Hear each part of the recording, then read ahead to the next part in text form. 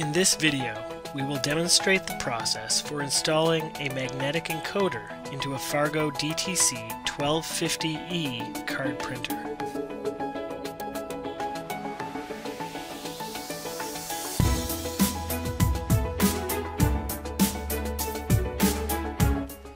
To begin, tilt the printer forward onto its front side so we can access the screws in the back of the printer.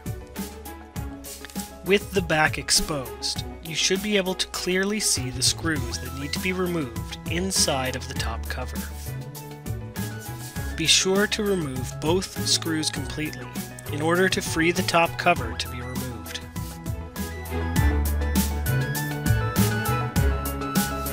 Next, tilt the printer back up so that we can easily access the top of the printer.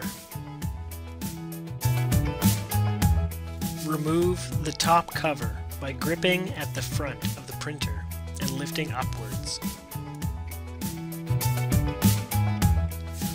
The magnetic encoder needs to be placed in the middle encoder bay and can be aligned using the two tabs on the sides of the magnetic encoder which line up with the slots on the side of the encoder bay.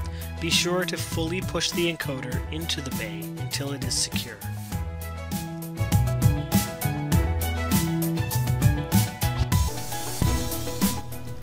With the encoder installed, replace the top cover.